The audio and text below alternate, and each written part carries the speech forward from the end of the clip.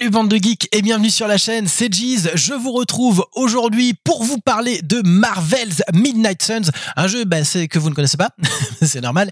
Il n'est pas sorti, ok? Donc on, va patienter jusqu'à 2022. Le jeu est prévu pour mars. Il est édité par 2K. On avait eu quelques petites, euh, quelques petites miettes hein, d'informations sur le jeu. Et hier, bah, Gamescom oblige les amis, on a eu le gameplay qui a enfin été révélé. Et bah, du coup, je me suis dit que vu que sur la, la chaîne Twitch, je suis quand même pas mal habitué voilà, à vous faire euh, des... On est quand même plutôt spécialisé dans, le super-héros en collant et les super-pouvoirs en tout genre. Je me suis dit, bah, pourquoi pas vous décortiquer un petit peu euh, toutes les images de ce jeu. Allons-y alors voilà, donc on découvre ici le trailer hein, qui nous a été présenté il y a quelques jours. Donc je vous invite à monter le son quand vous regardez ce trailer. Nous avons ici Enter Sandman, une reprise de Metallica avec Alessia Cara and The Warning. Ça pète Franchement, l'intro est badass, elle est exceptionnelle. Alors ici, euh, vous allez découvrir et redécouvrir des personnages que vous connaissez bien, euh, qui sont issus voilà, de l'univers Marvel, certains que vous connaissez du MCU et d'autres que vous connaissez peut-être un petit peu moins. Donc je vais essayer de vous expliquer un petit peu tout ça et de vous dire d'où ça vient tout ce bazar.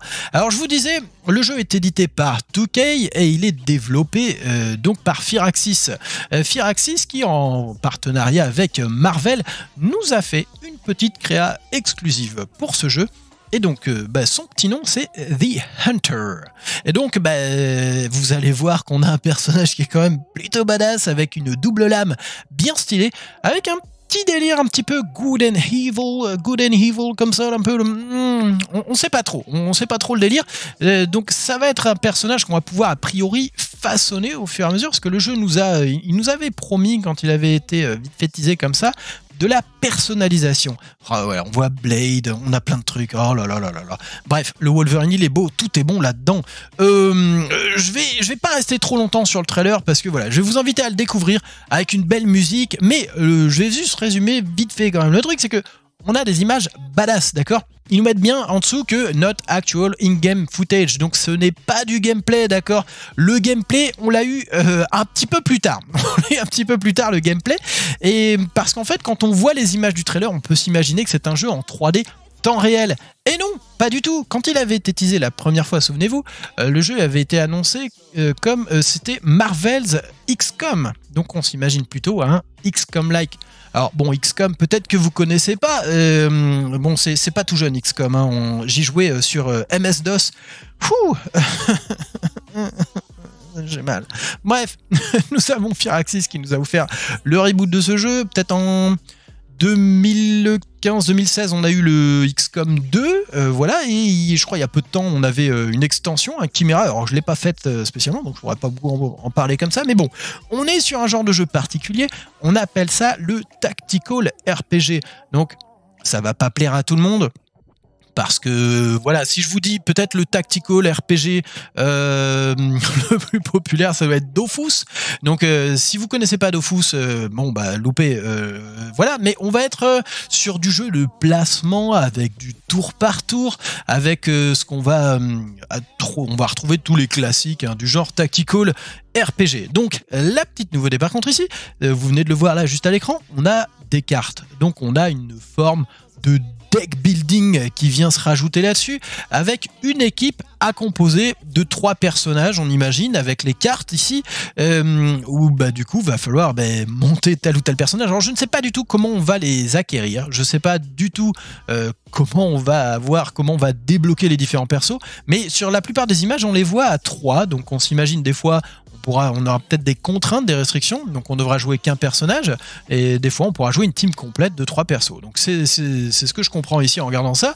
Euh, donc on a quand même pas mal de persos qui sont dispo dans le jeu. Donc il y a des héros, on va dire somme toute assez classiques que vous connaissez bien, comme Iron Man et Captain America. On retrouve Wolverine et Captain Marvel, euh, donc pour les plus populaires d'entre eux.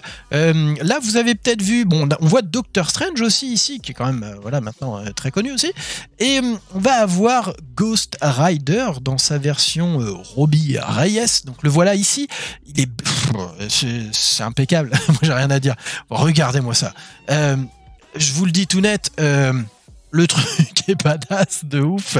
On a Blade, Blade, on le voit jamais. C'est, on dirait que c'est un mal aimé du jeu vidéo. Allez, regardez, Wesley Snipes, euh, Blade, mangez-en, c'est cool. Alors, il y en a peut-être deux qui sont un peu moins connus. Il y en a un, on en parle depuis peu dans Marvel Future Revolution, c'est Magic, euh, parce que c'est un personnage, la voilà ici à l'écran, euh, c'est un personnage qui a été teasé récemment, qui va pas tarder à sortir de Marvel Future Revolution.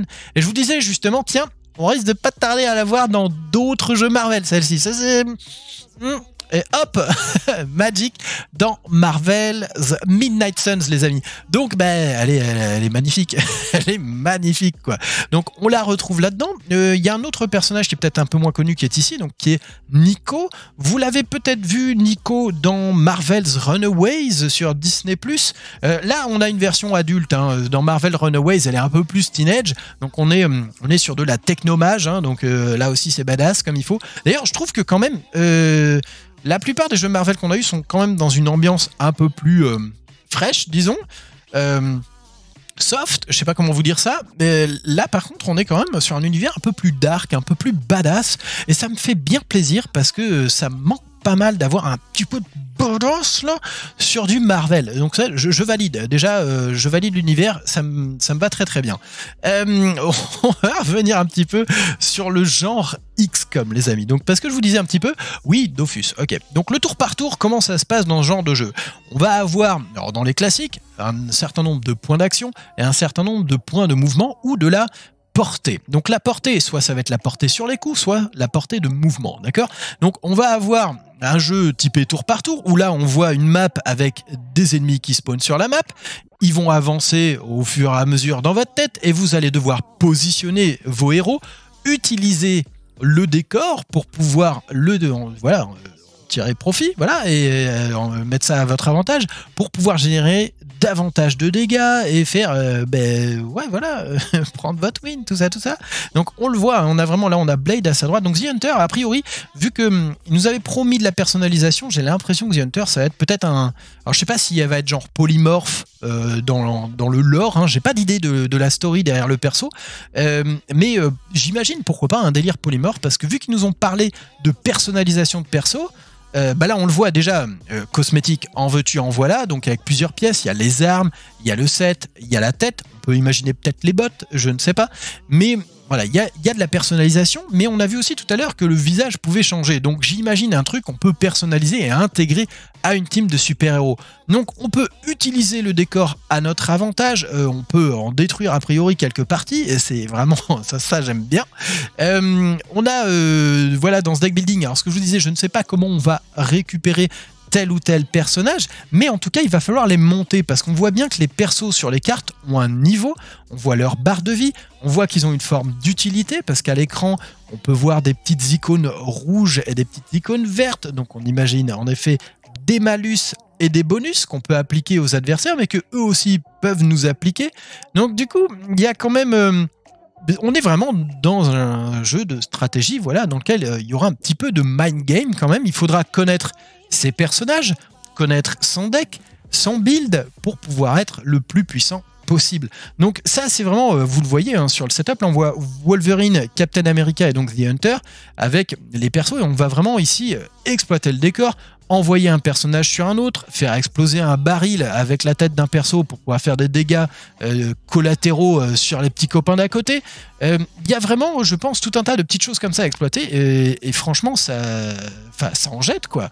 Le jeu est beau, donc j'espère qu'on va avoir un truc assez, assez voilà, jouable et moi franchement, euh, on parlait il y a pas longtemps sur la chaîne d'MSF Killer euh, parce qu'on cherchait un petit peu parce qu'en effet, bah, on a un jeu qui se développe un peu aussi sur euh, sur mobile et en termes de tour par tour, c'est vrai que pour ceux qui aiment le genre tour par tour et qui affectionnent également l'univers l'univers pardon Marvel, on va avoir ici quand même quelque chose qui pèse dans le game. bon, ok, c'est pas sur mobile. Donc on va pouvoir y jouer sur console et tout et tout, ok euh, et je pense que franchement, il y a un vrai potentiel euh, pour vous plaire si vous aimez le jeu tour par tour et de surcroît l'univers Marvel. Et là, le fait de me dire qu'en plus on a de la personnalisation, qu'on peut vraiment euh, pousser le truc, bah je, moi je valide les gars, je valide. Donc voilà, on va attendre un petit peu davantage d'informations sur ce jeu. Donc je crois qu'ils vont nous en laisser au compte-goutte. Voilà, d'ici à sa sortie, on va avoir pas mal de petits, euh, de petits teas. On a un pet aussi dans le jeu. Je sais pas son utilité, comment il va être exploité, mais, mais voilà. Donc je rappelle, il y a quand même il y a quand même les, les, héros sont là. Ghost Rider, Wolverine, Iron Man, Captain America, Magic, Captain Marvel, Doctor Strange, Nico. Euh, c'est génial. Je trouve que franchement, on a des gars qu'on voit pas souvent et, ça, ça change, et ça, c'est frais. Et donc, dans un jeu XCOM, je me dis, pourquoi pas, je valide. Donc voilà, on en reparlera bien sûr euh, très prochainement.